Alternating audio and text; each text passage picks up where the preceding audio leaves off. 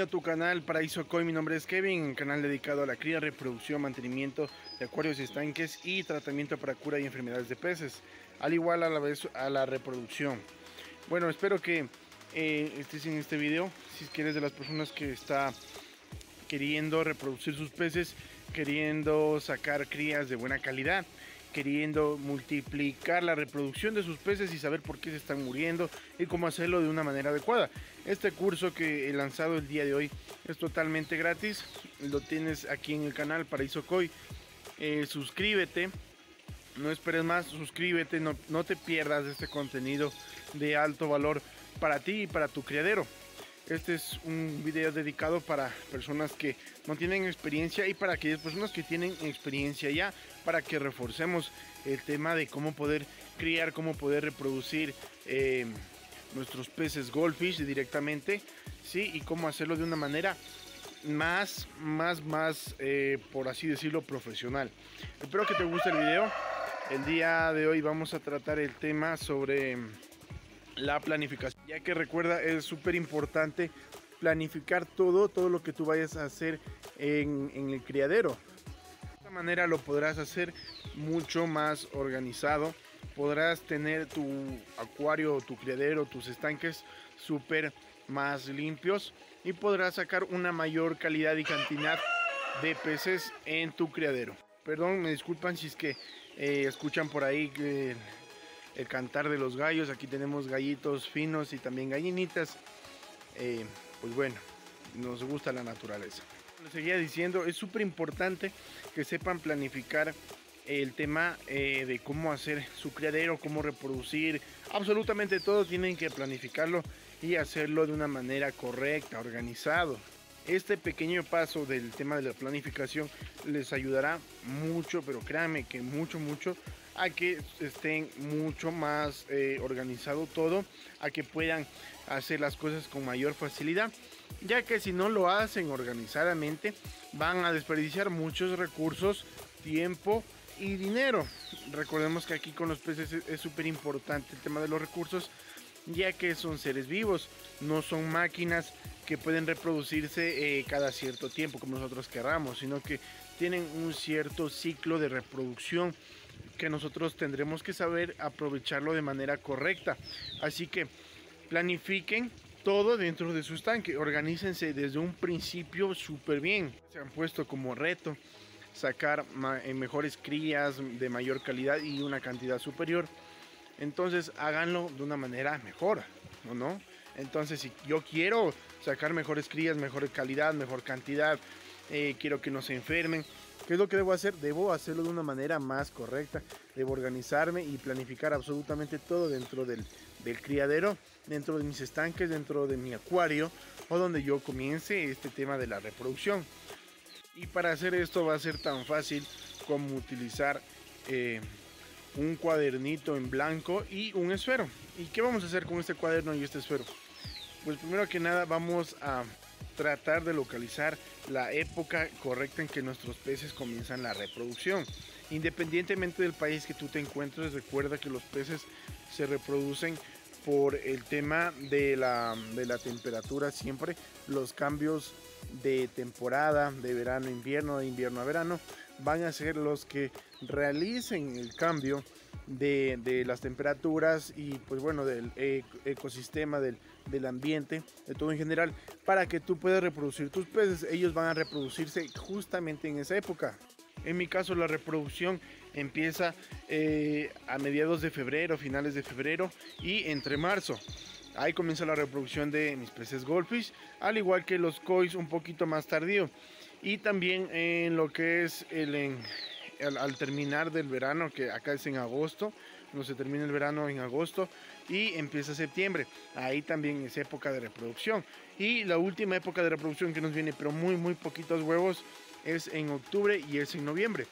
Así que estas fechas tú tienes que saber focalizar para que em, apoyes todo, todos tus recursos en esa época de reproducción y puedas implementarlo. Esto no es de que todos los días tú tienes que estar chequeando, no, sino si es que tú ya te organizas, como te digo, desde un principio y localizas bien la fecha y la época exacta de reproducción que es en tu país, eh, puedes hacerlo fácilmente a través de Google o si no, pues déjame un comentario indicando de, qué país eh, tú eres para darte viendo, dar, darte una pequeña ayuda investigando sobre qué, sobre qué, sobre qué, se me fue la palabra, sobre qué época es la correcta de reproducción. E incluso pues es una buena, buena idea para realizar un video más adelante sobre qué época de reproducción te tocaría a ti dependiendo de cada país que tú estés. Sí, pero por lo pronto para este video recuerda es súper importante focalizar la fecha y la época exacta. Una vez que tengamos la fecha exacta, para nosotros será mucho más fácil poder reproducir los peces. Después de esto vendrá el tema de la planificación de los recursos que vamos a utilizar.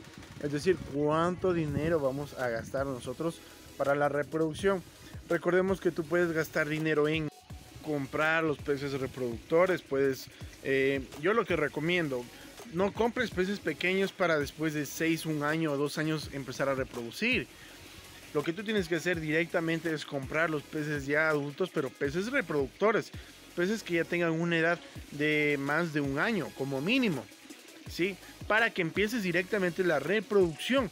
Ni bien tú los consigas, puedas empezar la reproducción y no tengas que estar esperando. Eh, a que pase un año, a que pase seis meses, no, sino que empieces la reproducción súper fácil. Entonces, recordemos, eh, importante planificar la fecha y época de reproducción, cuándo, cuánto vamos a gastar en dinero, ¿sí? es decir, los recursos. Puede ser que tú ya tengas los peces adultos, los peces eh, reproductores, como es mi caso, pero si es que no los tienes, planifícalo también. Ponlo ahí en el papelito, en el cuadernito, pum voy a gastar esta cantidad de dinero para comprar los peces que deseo reproducir. Porque este año, esta meta de este año va a ser reproducir peces oranda, o reproducir peces telescopio, o reproducir peces ranchú, sí, todo lo que sea goldfish. Entonces, debe ser una meta súper, pero súper clara y tú la debes planificar bien. Qué lindas que son mis gallinitas. Esta gallina es una gallina enana, se ha quedado chiquitita. Mi gallinita anda poniendo huevos y la ven ahí como está. Se mete ahí. Ahí anda ella poniendo huevos ahorita. Bueno, pero como les digo, el tema de la planificación, organizarse bien, eh, focalicen en época de reproducción, vean cuánto dinero van a gastar y todo eso anótenlo en el cuadernito. ¿Ya? Y como les digo, si es que ya tienen peces de una especie, que tal vez tienen cometas, eh, o bailarinas que son los que más se venden. Este año propónganse un nuevo, una, nueva especie, sacar adelante un nuevo grupo de peces. Pónganse un nuevo plan. Voy a reproducir peces oranda. Ya sé que es complicado la reproducción de los peces oranda y casi a todas las personas que yo he hablado y yo he tratado con ellos se les mueren las orandas porque tienen un cuidado muy delicado. Pero pónganse como objetivo eh, reproducir esos peces. ¿Cuánto dinero van a gastar? Si es que no tienen los peces reproductores, ¿cuánto tienen de disponible para poder gastar? Adicional a eso también van a tener que gastar en materiales. ¿Como cuáles materiales? Pues bueno, en dónde van a reproducir sus peces, que es igual, lo veremos un video más adelante, sobre qué tipo de envase, por así decirlo, vamos a utilizar nosotros para la reproducción de nuestros peces. Así que no se olviden, planificar la época de reproducción, los recursos, cuánto vamos a gastar, si es que no tenemos los peces, cuánto nos van a costar, em, empezar a investigar, averiguar para planificar absolutamente todo. Los materiales que vamos a utilizar, los envases que vamos a poner para reproducir, cuánto nos van a costar. Y el otro material que es súper, pero súper importante. ¿Cuál es? Es la bomba de aire, la bomba de oxígeno. ¿Qué bomba de aire vamos a utilizar? De preferencia, de preferencia, lo digo yo por experiencia, compren una bomba de aire ya más grandecita, no, no compren las pequeñitas de una o dos salidas. Compren, hay unas que tienen cuatro salidas, que son las que yo utilizo, ya que eh, las otras bombas más grandes de, aire eh, las tenía y se me quemaron. Compré como cuatro de esas, igual se me quemaron. No sirvieron para el trabajo, no sirvieron para el mantenimiento, para el uso diario, no me sirvieron servirán tal vez en acuarios que, no tengan mangueras tan largas, pero para mí esas no son tan efectivas.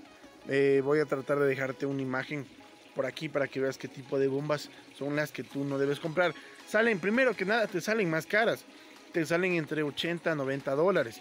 Y créeme que se ven súper lindas, súper potentes y fuertes, pero a los 8 o 10 meses ya pierden potencia. En cambio, de igual manera aquí te voy a dejar una imagen de las bombas que tú debes comprar. Igual ya vamos a ver en un video más adelante. Estas bombas son de, marca Jade. Puedes encontrarlas con otro nombre dependiendo del país que tú estés. Pero lo principal de ellos es que tienen la salida para cuatro eh, mangueritas de oxígeno. Así que vamos otro, otro recorderis. Sí, planificar la época de reproducción, planificar cuántos recursos y dinero vamos a gastar. Si es que vamos a comprar los peces reproductores y adultos, si es que vamos a comprar los envases de reproducción y si es que vamos a comprar las bombas de aire. Ya tenemos eso de ahí como, como principal y primer paso. Bueno, luego de planificar casi todo lo que les he comentado, la época de reproducción, los recursos, cuánto dinero vamos a gastar, qué materiales vamos a implementar, lo más importante ahora será ver en dónde y en qué ubicación van a instalar su pequeño criadero. Ya que recuerden, deben hacerlo de una manera organizada para que vayan viendo cómo van a ir acomodando las cosas, para que estén mucho mejor, más organizado, más presentable y se les sea fácil para ustedes. Lo importante es que sea fácil para ustedes. Y la mejor manera es hacerlo de una manera correcta, organizada, no desorganizado incluso que se vea hasta bonito, o sea, que sea lindo, ah, perceptible a la vista de cualquier persona, al ver tu pequeño criadero diga, no, pues, o sea, está súper chévere, te felicito, ¿sí? Ya basta de, reproducir los peces en envases así por doquier, a, a, la hora que te salgan los peces, no, eso está mal, eso está muy mal, que tú cojas a lo loco y comienzas a reproducir, porque se te van a morir muchos peces, créeme, que todo ese esfuerzo que tú estás haciendo para reproducir cualquier cantidad de peces, estás haciendo mal porque se te van a morir. Luego de un cierto tiempo, ¿qué va a pasar? No vas a poder mover, eh, les va a quedar chiquito el espacio ya. ¿Y qué va a pasar después cuando vas a cambiar de un estanque? Por ejemplo, si es que tú estás reproduciendo en cooler, eh, que es lo que todos, bueno, la mayoría de gente hace. Reproduce en cooler y luego quiere cambiar a, una, a un envase más grande y se les muere porque los alevines, recordemos, son súper, pero son súper delicados. Entonces, lo importante aquí es evitar que se mueran. Así que todo eso, recuerda planificar bien el sitio donde tengas los recursos, el dinero que vas a, utilizar. Si es que vas a comprar peces reproductores, recuerda no comprar muchos porque igual, de igual manera, una sola hembra te pone la cantidad suficiente de huevos para que tú ya tengas suficientes peces de la especie que desees. Yo te recomendaría que tengas para empezar unas dos hembras y unos tres machos. Sí, dos hembras y tres machos. Lo que recomiendan por lo general es una hembra y tres machos. Pero si vamos a empezar, recordemos no gastar mucho dinero, dos hembras y tres machos sería lo indicado para sacar diferentes líneas de reproducción. Así que dos hembras, tres machos de la especie que tú desees reproducir. Si es que ya tienes los reproductores, genial, te felicito, súper chévere, pero si es que no, empieza ya a buscar los reproductores. Empieza a planificar el envase que vas a utilizar. Empieza a planificar la bomba de aire que, te la dejé por aquí, la, la imagen la voy a volver a poner aquí, una pequeña imagen. Y como te digo, mira esta serie de videos hasta el final. Te voy a dejar en el último video sí a lo que acabe de, hacer estos videos. Recuerden, estos videos los estoy haciendo cronológicamente. No es que los tengo pregrabados, los estoy haciendo cronológicamente a mi tiempo también porque eh, me toma bastante tiempo a mí hacer esta situación. Pero lo voy a hacer porque me parece que es lo correcto, lo que ustedes se merecen. Y pues nada, les, les agradezco realmente muchísimo que estén viendo los, los videos. Para mí es súper eh, emocionante ver mi canal y que comienzan a, subir los pequeños suscriptores eh, de 10 en 10, de 5 en 5, comienzan a subir poquito ya que este canal es nuevo. Sí, y de igual manera las vistas comienzan a subir, de todos los temas que he estado subiendo, comienzan a subir. Pero esta guía, este curso totalmente gratis, créeme que te va a ayudar muchísimo, pero mucho, mucho realmente a ti. Si es que estás empezando en esto de los peces, esto es un hobby para ti. hazlo ya de una manera profesional. O sea, más que profesional, trata de hacerlo de una manera más correcta, más adecuada, para que a la hora que veas los resultados te llenes de felicidad y de emoción y no de tristeza. Como me pasaba a mí que reproducíamos mil, dos mil pececitos, tres mil alevines y de la noche a la mañana se morían todos. Y no sabía por qué. Entonces eso a mí sí me ha costado, pero créeme mucho, mucho eh, dolor de cabeza, investigar, averiguar todo, preguntar a gente capacitada, coger pequeños cursos eh, dedicados a la acuariofilia. Pero créeme, me han servido mucho y por eso he decidido subir esta serie de videos para que te puedan ayudar a ti a reproducir tranquilamente desde tu casa cualquier tipo de especie de los golfis. Recuerda, esto es guía de curso completo definitivo, totalmente gratis para reproducir golfis. Muchas gracias por ver este video. Por favor, suscríbete al canal, deja tu like, eh, deja un comentario sobre qué te parece el tema, si es que te parece interesante. ¿sí? Vamos a hacerlo lo más fácil, lo más sencillo posible, lo más económico, sí, para que tú lo puedas hacer independientemente de la edad que tengas, de si es que ganas mucho dinero o poco dinero, vas a poder implementar, vas a poder implementar todos estos, esta serie de videos a tu pequeño criadero. Deja tu like, tu comentario, suscríbete por favor, suscríbete al canal, no te pierdas esta serie de videos, tu tiempo viendo eh, otro tipo de videos que lo único que hacen es confundirte, no te indican de manera correcta. Para despedirme de ti te dejo con unas pequeñas imágenes de, de mis estanques. Estos son mis cois. Son los que más me gustan a mí, más que los goldfish. Esa de ahí es una cojacu ya. Tiene alrededor de 60 centímetros. Tengo otros también grandecitos. Ella fue... ella le puse un, un sistema especial para que crezca de ese tamaño para que se haga un bocoy y ellas también ya están comenzando a, huevarse o sea pues están con, con las panzas llenas de, de huevos. Entonces como te digo suscríbete al canal no te pierdas nuestro contenido. Mira la guía definitiva del curso totalmente gratis te voy a dejar la tarjetita en la esquina de este video para que tú puedas eh, ver esta guía definitiva para que veas que este contenido realmente sí te va a poder ayudar a reproducir tus peces. Estos son peces koi. Por en el otro estanque tengo los golfis sí pero quiero que veas como yo los tengo súper súper recontra que bien y que sí me ha costado mucho pero muchos dolores de cabeza y no te pierdas ni un solo video del canal en especial de estos últimos videos que voy a ir subiendo a esta lista de reproducción que se va a llamar curso definitivo totalmente gratis para la reproducción de los peces golfis. Así de largo lo voy a poner. Pero ¿sabes por qué? Porque quiero que lo encuentres fácilmente, no quiero que te pierdas de este, este contenido de muy alta calidad para ti, tu criadero, para tus peces y que este año que está empezando sea muy bueno para ti. Te deseo las mejores vibras, los mejores deseos súper éxitos y que te vaya súper recontra que bien. Bueno, ya termino este video porque las gallinitas que tengo en la casa están empezando a, a poner huevos y yo las estoy molestando mucho por aquí y pues cuando se las molesta mucho no, no ponen los huevitos.